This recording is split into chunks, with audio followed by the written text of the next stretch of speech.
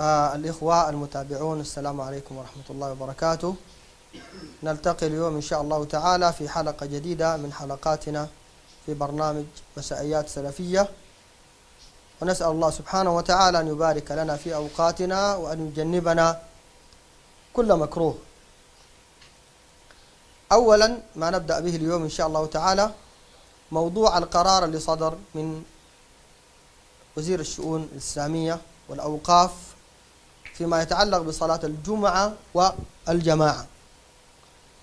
وذكر أنه القرار كان مبنيا على ما صدر من وزارة الصحة وما صدر أيضا من مجمع الفقه الإسلامي.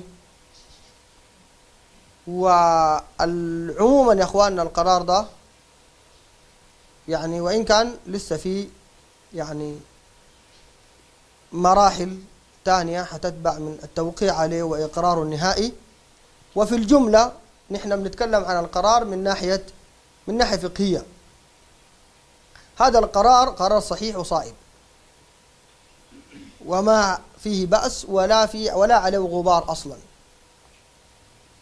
ومسألة كونه فتحوا المساجد أو أغلقوها أو كذا دي مسألة بتخص الجهات المسؤولة.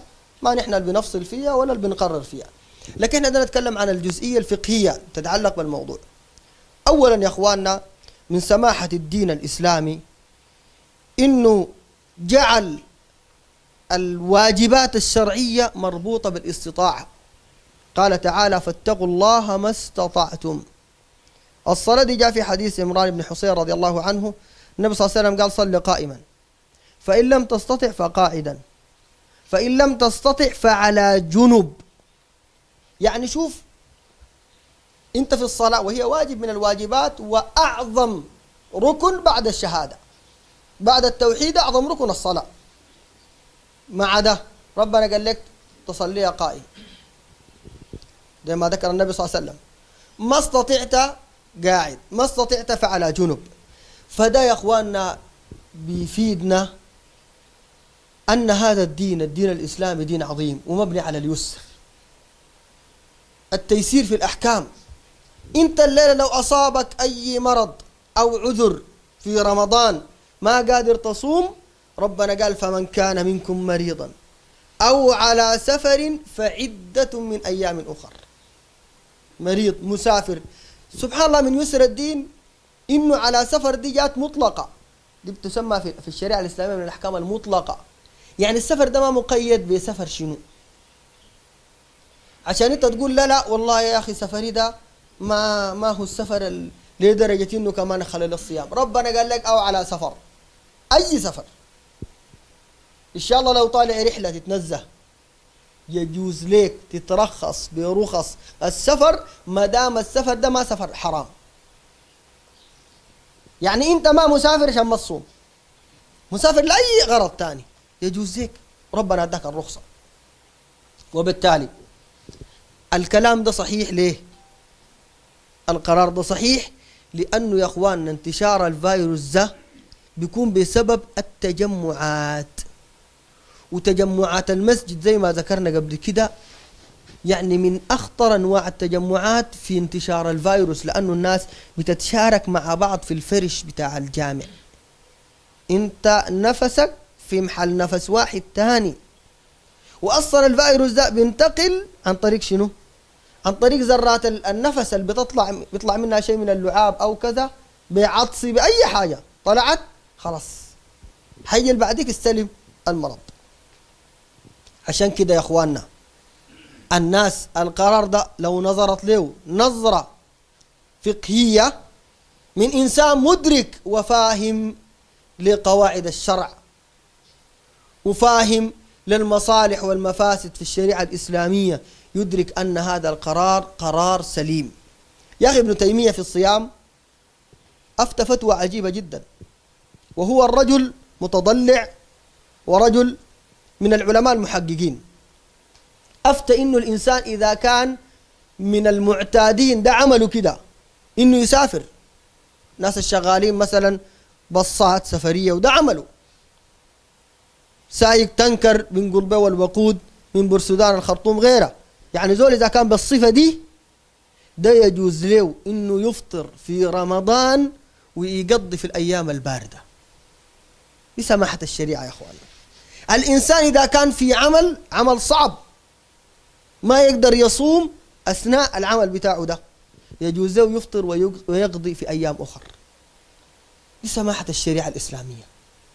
الليلة يا أخواننا لو كان الدين الإسلامي ألزم الناس لو كان ألزم الناس بأنه الناس يعني تصوم أو تؤدي الصلاة صلاة الجماعة مع وجود المرض ده لو كان ألزمنا الدنيا دي كلها كان قامت ضد الإسلام.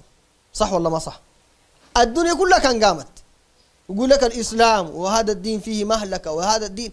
لكن لما كانت من سماحة الدين الإسلامي. إنه يعني جعل للناس الرخصة إنه يصلوا في بيوتهم. عشان يتجنبوا المرض الآن العلمانيين سكتوا تماما. ما في واحد يتكلم عن سماحة الإسلام في الجزئية دي. لأنه ده من حقدهم على الدين الإسلامي. الإسلام وضع من من الإجراءات بل أعظم إجراء في الوقاية من المرض ده اللي أقربه العالم كله. اللي في حديث النبي صلى الله عليه وسلم إذا سمعتم بالطاعون أو إذا وقع الطاعون في بلد فلا تدخلوها. وإذا كنتم فيها فلا تخرجوا منها. الكلام ده العالم كله رجع له زي ما كتبت نيوز ويك الأمريكية المجلة كتبت عن إنه في في شريعة النبي محمد يعني من بعض تعاليمه ما يكون سببا في الوقاية من المرض. الناس الآن بتتكلم عن قضية الحجر. الرئيس الأمريكي قايم على منظمة الصحة العالمية. قال إنه أخفض عليهم خطورة المرض. وقال دسد عليهم العلاج. وقال ما اتخذت الإجراءات الحاسمة في منع السفر. وشوف الإجراءات دي قال نبينا محمد صلى الله عليه وسلم قبل 1400 سنة. قبل 1400 سنة النبي صلى الله عليه وسلم قال الكلام ده وعملوا به الصحابة رضي الله عنهم وأرضاهم. لكن الناس يعني محاسن ديننا العلمانيين الحاقدين القاعدين في بلدنا دي ما بيجيبوا لا سيرة. وإن يكن لهم الحق يأتوا إليه مذعنين. أول ما لقوا إنه يعني ال ال ال ال الدين بيحميهم ما ذكروا إنه دي من محاسن الدين لكن لجأوا لها بطريقه غير مباشرة. بيجوا يشجعوا في شيوخ الدين إنه يفتوا لهم الناس يقعدوا في البيوت. على أي حال القرار ده يا إخواننا من ناحية فقهية. شرعية صحيح. ما في مشكلة. ونحن كناس دعاة. ما عندنا غرض في سياسة. لا نؤيد حاكم ولا نؤيد معارضة. بنوصي الناس كلهم. ألزموا بيوتكم يا أخواننا. صلوا في رحالكم. أمنعوا أي تجمعات لأنه الضرر ده والله لو حل بمجتمعنا نحن ناس ما عندنا قدرة لا صحية ولا اجتماعية في مقاومة مرض زي ده. ما بنقدر عليه والله. يا أخي بسمع في تقرير الليلة الظهر إنه إيطاليا سبب انتشار المرض فيها واحد من المصابين بالعدوى دخل في جماهير بتاع مباراة ما عارف بين ناديين إيطاليين. كويس؟ والعدوى منا ملت البلد كله واحد دخل من الجزر أظن يعني أظن بتاعة الكندية ما شبه بريطانيا. العدوى دي انتشرت لحد ما وصلت جونسون ذاته. رئيس الوزراء بتاعه. يا اخوان المرض ده خطير جدا.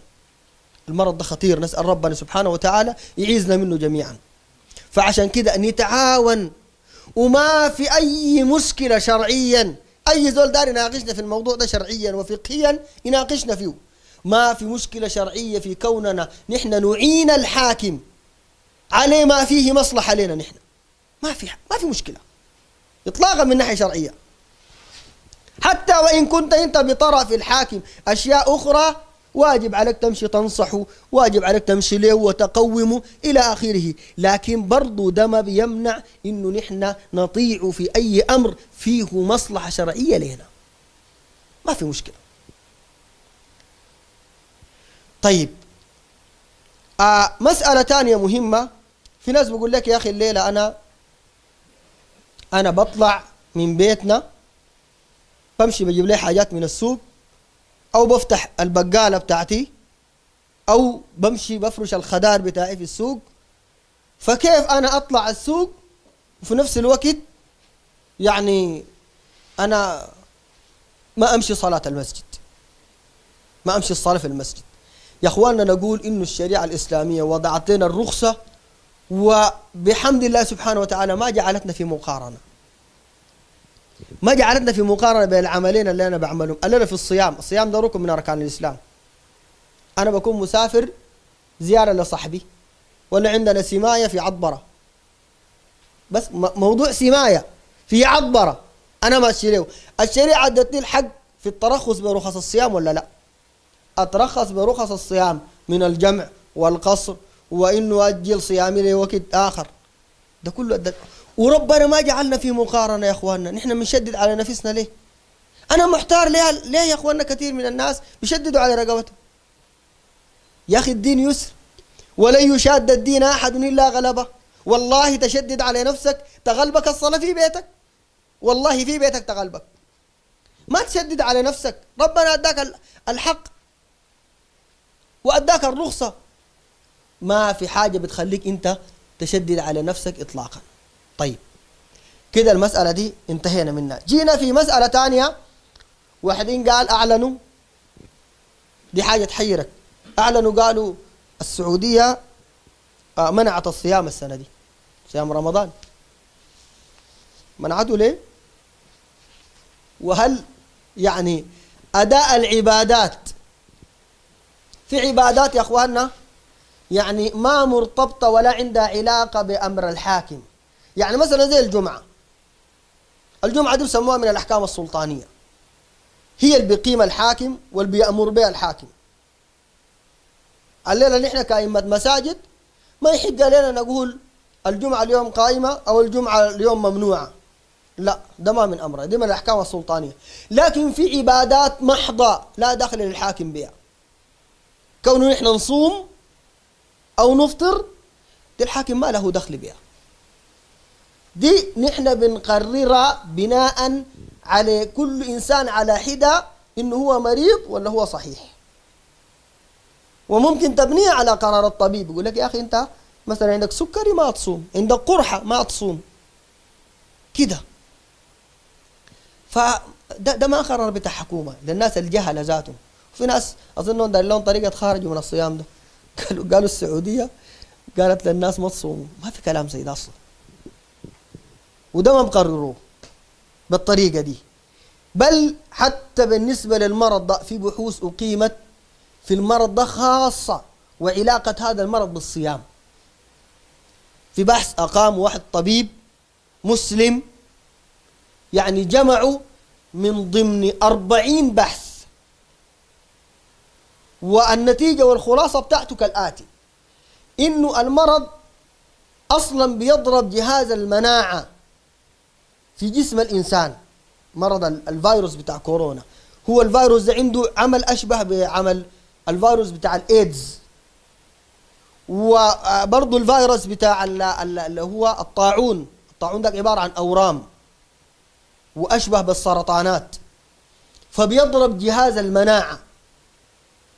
طيب لكن جهاز المناعة أصلا لا يتأثر بالصيام. بل أثبتوا طبيا أن جهاز المناعة في جسم الإنسان يتقوى بالصيام. وأثبتوا أن للصيام آثارا إيجابية في تقوية جهاز المناعة للإنسان. وبالتالي يبقى يا أخواننا أي فتوى تجي للزول يقول لك ما تصوم بناء عليه انتشار المرض ده دي فتوى ما صحيحة. لأنه طبيا ثبت إنه ما في أي ضرر بيترتب على صحة الإنسان من يعني الصيام فيما يتعلق بهذا المرض. فالناس تصوم صيام عادي جدا ما في أي مشكلة. طيب.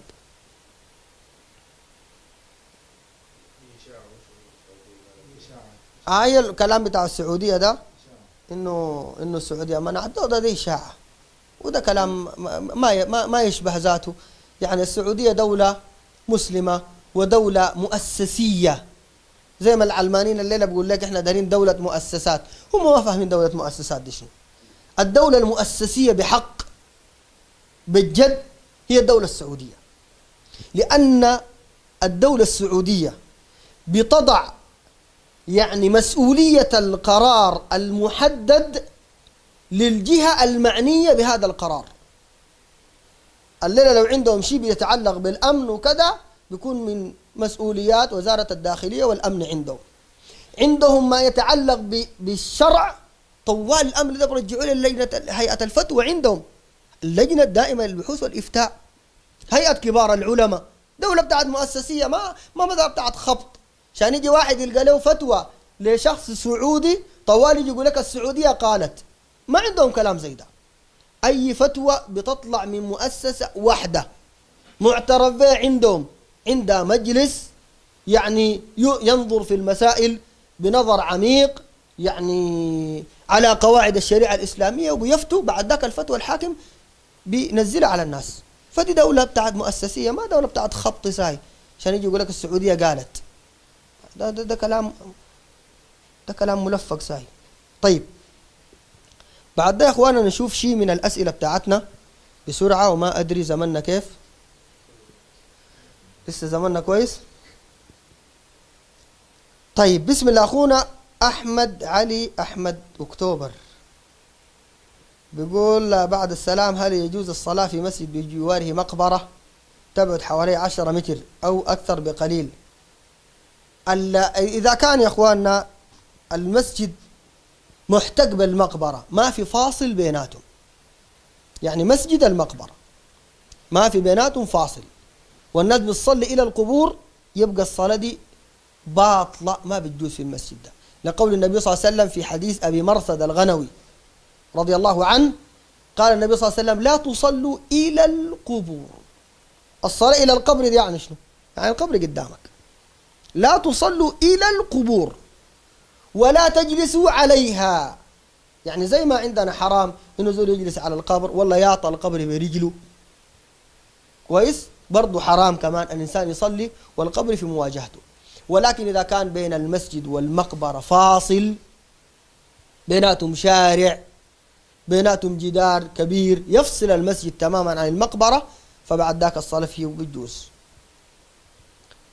أما المساجد اللي بتكون جوا في المقابر دي بتجوز فيها صلاة الجنازة. يا إخوان الناس تفرق بين الاثنين صلاة الجنازة بتجوز في المسجد في في في, في المقبرة.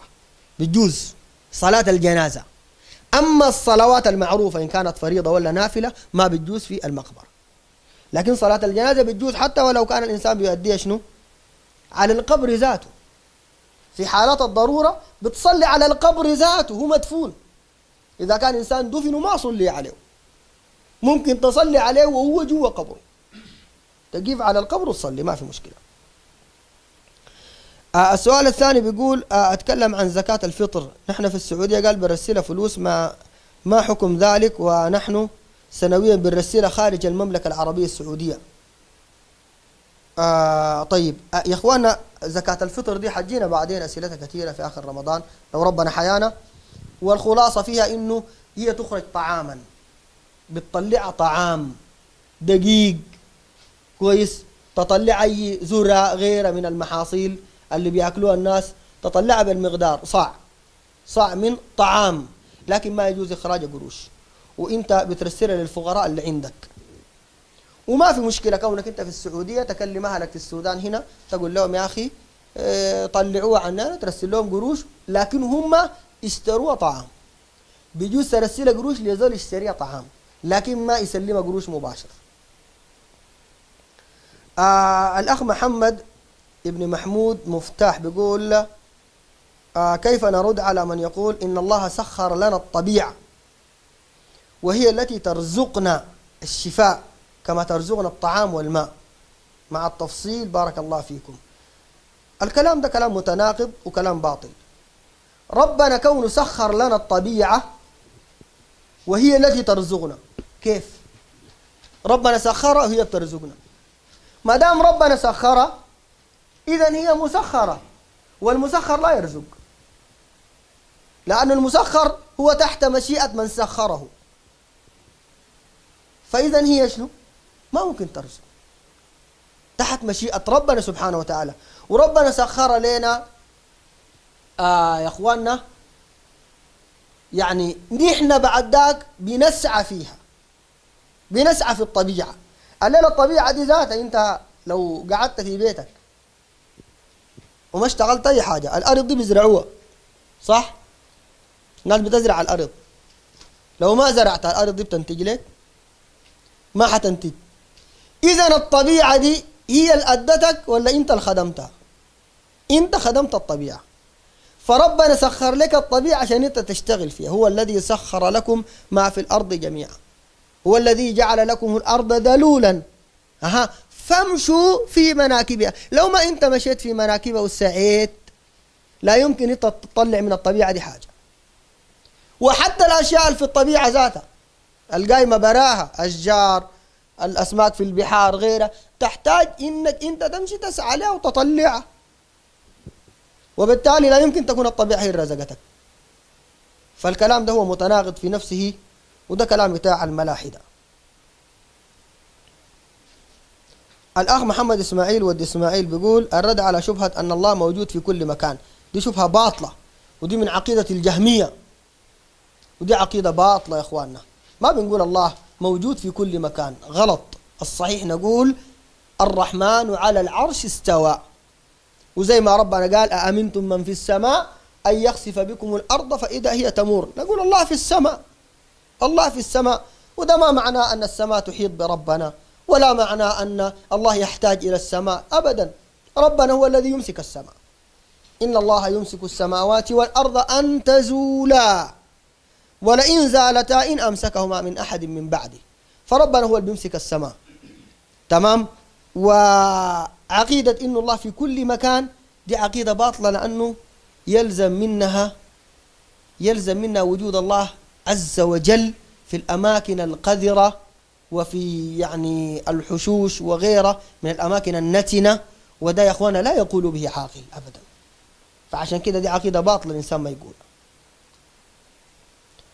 آه الأخ محمد بابيكر بيقول آه لو عندي قطعة أرض اشتريتها للزمن. للزمن دي يعني شنو؟ هل عليها زكاة؟ وكم قيمتها؟ والتوقيت لزكاتها. طيب للزمن دي يا محمد بابكر ما مفهومة. لكن لا مف... يعني مقصود بها شنو؟ يعني ده آه. طيب أنا جاوب لك على على تقديرين. إما للزمن دي تقاصد بها إنه داير تسكنها يوم من الأيام. إذا أرض داير تسكن عليها يوم من الأيام أو خاتها لولدك إنه يسكن عليها فهذه أرض تعتبر سكن لك دي ما بتزكى. زي سيارتك اللي أنت راكبها دي ما بتزكى أو دابتك الحمار ولا الكارو بتاعك دي لا تزكى. وزي ذهب المرأة اللي لابساه. مرأة مشتري لها ذهب ولابساه ذهب حلي بيلبسوه هذا لا يزكى. أما إذا كانت الأرض أنت واضعة للتجارة للزمن دي إذا قاصد بها إنك أنت يوم من الأيام قد تحتاج لها وتشغلها في التجارة. فهذه تعتبر من عروض التجارة. وتزكى زكاة عروض التجارة. يعني شنو؟ يعني بتضم على بقية مالك. عندك دكان لما تجي للجرد تجرد دكانك تاخذ قروش الدكان بهنا تجيب الأرض تغيمة تاخذ قروش الأرض وتقسم مالك في الجملة كله على أربعين. طلع الزكاة. فإذا بالزكاة من جملة مالك. وبتعتبر عروض تجارة وتزكى زكاة عروض التجارة. أما لو كانت مؤجرة أرض مؤجرة ولا بيت مؤجره ولا سيارة مؤجرة ولا كده المؤجرات ديل تطلع زكاة من الأجرة بتاعتهم لو تمت النصاب اللي هو ما يعادل 85 جرام وحال عليه الحول تزكى زي أو زي بقية عروض التجارة والأموال. طيب بيقول أيهما أفضل للمسافر أن يفطر أو يصوم؟ الأفضل هو الأيسر بالنسبة له ودي خلاصة جواب شيخ الإسلام ابن تيمية رحمه الله. الأفضل هو الأيسر. ودي من سماحة الدين يا أخواننا. دي من سماحة الدين الإسلامي. أنت م يعني مسافر تصوم ولا ولا تفطر؟ أحيانا الإنسان يقدر يقول والله يا أخواننا أحسن لي أنا ده الشهر الكريم أو المبارك والناس دي كلها صايمة والصوم مع الجماعة بكون سهل وكده أحسن لي أنا أصوم. والسفر بتاعنا بارد أنا مسافر بسيارة كويسة ولا بطائرة ولا بغيرها وسهل بالنسبة لي فما في مشكلة. ده أفضل له يصوم. واحد تاني بيقول لك والله دي مشقة يا أخواننا وأنا بتعب في السفر وكده أحسن لي أفطر وأقضي بعدين. فعلى كيفك أنت عندك الرخصة. لكن ابن تيمية نبه عليه إنه لو قال لو في حد قال المسافر ما عنده الرخصة ده قال آه يستتاب فإن تاب وإلا قتل. عندك الرخصة. مسافر إلا يكون سفرك سفر معصية. سفر معصية. إن كان سفر عشان تترخص ما تصوم أو سفر ماشي لك لجريمة ومصيبة. ها؟ كان ماشي الكريدة ولا ماشي كده ده ما سفر بيجوز لك إنك تترخص به طيب بيقول آه شيخنا الفاضل حفظك الله. في زول مصاب بالوسواس القهري. طلب منك أن تساعده بكيفية العلاج منه وجزاك الله خير. الوسواس القهري ده يا أخواننا مرحلة من المراحل هي مرحلة مرض. يبقى الإنسان بيشك في أي حاجة يعملها تاني. إذا توضى يشك في في وضوء. صلى كم ركعة يشك فيها. حتى يصل لمرحلة يشك في إسلامه ذاته. فالوسواس ده أول سبل العلاج منه الدعاء. يدعو ربنا بالشفاء والعافية لأنه ده مرض. اثنين عليه أن لا يسترسل مع الوسواس. ويعاكسوا بالبلدي كده. قال لك انت وضوء ده ناقص قول له خلوا ناقص. ما عندك معه شغل. صليت ثلاثة ركعات بس قول له خلي انت ثلاثة الله بيقبلن فكونك تعاكسه ما تسترسل معه ده بيقطع باب الوسواس وبيعالجك على الشفاء منه. آه الأخ طه شيبات ولا شنو كاتب اسمه كده. ما حكم بيع السوائل؟ آه المعقمة التي فيها نسبة عالية من الكحول. وهل تدخل في حديث إن الله حرم بيع الخمر المسألة دي فيها خلاف طويل يا أخواننا. بين الفقهاء كونه يستفاد من المحرمات زي الخمر وغيرها ففيها خلاف كبير جدا. ولعل الراجح إنه يجوز الانتفاع بها ما لم يكن يعني النسبة فيها نسبة فاحشة. إذا كانت النسبة نسبة يسيرة فيجوز الانتفاع بها. ولكن إنسان إذا وجد مخرج آخر فالأفضل يعمل. إلا إذا ما وجد أي مخرج إلا يستعمله فيستعمله إذا كان القدر فيها ما قدر كبير. والناس تراجع فيها فتوى تفصيل جميل لشيخنا سليمان الرحيلي حفظه الله. آه يحيى المهدي الصديق بيقول بعد السلام آه هل الثوب السوداني النسائي من الحجاب؟ والله الثوب السوداني ده هو أخف حالا من التبرج الحاصل ده. نسوان ماشات بحاجات عجيبة جدا. فهو أخف حالا وأستر من غيره لكن كونه هو الحجاب الشرعي لا ما هو الحجاب الشرعي. لأنه فيه بعض المواصفات مخالفة للحجاب الشرعي. أول حاجة ملصق على جسد المرأة وبيظهر مفاتنه وما بيستر جميع الجسم وهو زينة في نفسه وما بيغطي جميع الجسم. فإشكالات كثيرة جدا بتدل على أنه هو ما هو الحجاب الشرعي. لكن في زمننا ده أنا خايف يجي يوم من الأيام نحن ذات ونقول للناس بس عليكم بالتوبة السوداني. لأنه ذاته ماشي ينحسر. ماشي ينحسر عددا كيفا وكما يعني. من ناحية الكمية اللابسينه ماشي ينحسر. ومن ناحية الخامات بتاعته والوزن والسمك بتاعه كله ماشي ينحسر.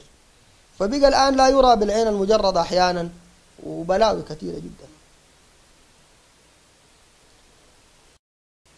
آه بيقول ما حكم ده آه الأخ محمد عوض فالو؟ ما حكم ال ال ال ال ال العود في الشغل؟ أيوة العود في الشغل. يعني زول يجيب الشغل لل- للعتالة ويقول لهم عودي راكب يعني حقي برا. العبارات هسي مفهومة؟ ويفسر بعبارة ذاتها بتكون أشبه بالأولى. المهم العبارات مفهومة يعني. ناس السوق بيفهموا العبارات دي. عودي راكب يعني حقي معاكم. لو كان خمسة عتالة والشغل بيشتغلوا بخمسة ألف مثلا يقسموا القروش عليهم. زي ده الزول اللي جاب الشغل. ما في مشكلة يا أخواننا. ده ما نوع من أنواع ال- ال- المشاركة. وكونه جاب الشغل معناه شارك معهم والأمر فيه بالخيار. زي ما النبي صلى الله عليه وسلم قال البيعان بالخيار. فهم بعد ذاك باختيارهم. إذا اللي بيسميهم عتالة دين قبلانين. إنه يقسموا له معاهم فما في مشكلة. لأنه هو مساهم معاهم في إنه هو اللي جاب الشغل. طيب الأخ عبد الباقي المساعد بيقول هل الضار من أسماء الله الحسنى؟ واسم الباقي أيضا هل هو من الأسماء الحسنى؟ أما اسم الباقي ما أعلم عنه شيء والله. ما وقفت عليه شيء عنه. أما اسم الضار فليس من الأسماء الحسنى. ولكن يجوز إطلاقه من باب الصفة. يعني ربنا يضر وينفع. وإن يمسسك الله بضر فلا كاشف له إلا هو. فباب الصفات أوسع ويجوز من باب الوصف. إنه نوصف به ربنا إنه ربنا يضر و وينفع. لكن كونه من أسماء الله الضار ده ما ورد. أه؟ المعطي ما أعلم عنه شيء والله. اسم المعطي واسم الباقي ما أعلم عنه شيء. آه الأخ الحاج محمد نور أبو طلحة بيقول آه شيخنا حكم تغيير الذهب من سعودي لبحريني مع دفع الفرق. حكمه شنو؟ طيب يا الحاج.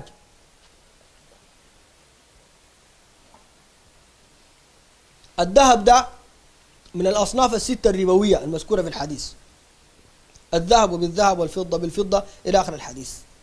النبي صلى الله عليه وسلم وضع لنا شرطين ديل يدا بيد ومثلا بمثل. يدا بيد يعني بايع ذهب بذهب هاك وديني. يدا بيد. ما يجوز بالدين اثنين قال مثلا بمثل. مثلا بمثل. يعني جرام من الذهب بجرام من الذهب. جرام بجرام. ما يكون في زيادة. ما تقول لي بحريني والله إيطالي. ذهب. زي التمر ما تقول لي ده تمر تمر جيد تقول لك ده برني بتمر آه, آه اسمه حقكم ده بسموه شنو يا بازر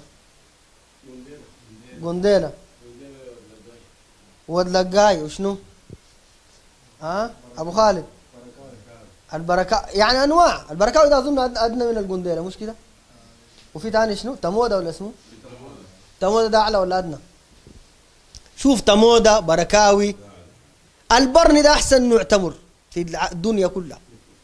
أحسن نوع تمر البرني ده تمر المدينة. وفي المدينة ذاته نادر جدا. النبي صلى الله عليه وسلم ذكر في في حديث إنه هو علاج. أنت لو لقيته علاج من السكري وأمراض كثيرة هو علاج. فبرني ولا كشوش؟ واحدين كيف بسموه كشوش؟ زي الناس الشمالية. كشوش ده أظن اكعب شيء. الشيص. ده في الشريعة اسمه الشيص شيص برني كرور كله بس مثلا بمثل. ملوى بملوى. ال- الحكمة فيه آه. فعلا أيوه المبايعة ذاتها ما بيكون منها فائدة. يعني أنت ممكن تقول لي يعني أنا لو بعت ده بده أنا ما استفدت حاجة. كويس؟ لكن قد تكون انت ما استفدت لأنه تمرك الكعب لكن مستفيد الثاني لأنه التمر السمح. وقد يكون هو مش مبايعه قد يكون بدل. قد يكون مجرد البدل هو بي- يستفيد منه الإنسان. ولكن على كل أنت لو داير مثلا تبيع الأغلى لو داير تستبدل الأغلى بالأدنى كويس تقوم تبيع ذاك براه وتستلم حقه. وتجي تشتري الثاني. زي ما الناس بتتعامل الآن في الذهب ما في مانع يكون من نفس الشخص. ما في مانع لكن تكون البيعتين منفصلات. وما يكون بيعة فيها شرط في الثانية. لا البيعتين منفصلات. ما في مشكلة. آه الأخ نايل أبو القعقاع جعفر بيقول شخص ارتكب كفر أكبر. وبينا له أن هذا العمل كفر ولم يرد علينا. ثم عاد في اليوم التالي وكرر نفس الفعل. هل نكفره؟ كلمة الكفر هي بيقول وحات أبوي أحمد وحات أبوي محمد. شكله من أهلنا ديرك وحات أبوي محمد. أول حاجة يا أخواننا الحلف بغير الله سبحانه وتعالى لا يجوز. النبي صلى الله عليه وسلم قال من كان حالفا فليحلف بالله أو ليصمت. وقال لعمر بن الخطاب إن الله ينهاكم أن تحلفوا بآبائكم. إن الله ينهاكم أن تحلفوا بآبائكم. فما بيجوز يا أخواننا الحلف بغير الله سبحانه وتعالى وهو شرك. ولكن بالنسبة لأخونا نايل ما بيجوز لك أنت تكفره. أنت ما تكفره لكن أنصحه إنه ده كفر. ما بيجوز أنت تقول كلام زي ده. وده حساباته مع ربنا صعبة. وبين ليه والأحاديث والآيات في الكلام ده لكن ما تكفره لأنه التكفير ده حكم صعب ما يقدر الإنسان يقيمه ولا سيما أنت ما عندك العلم اللي بتقيم به الحجه وكذا لكن أكتفي فقط بالنصيحة. لكن التكفير ده أمر صعب. دخل له له أهل العلم. اي وما هو الكفر الأكبر لكن أنت يعني ما تديه التفاصيل دي. بس وريه إنه ده شرك بالله سبحانه وتعالى وما بيجوز. والإنسان يحذر منه ويخاف الله سبحانه وتعالى ويتقيه وكذا. وما تبقى المسألة فيها يعني كأنه زي الشكل كده عشان هو يقوم يصير عليه يركب راسه. حكم صيام المرأة الحامل في رمضان إذا لم تستطع هل عليها فدية أم قضاء الصيام بعد الولادة؟ دي الراجح إنه عليها الإطعام فقط ما على قضاء.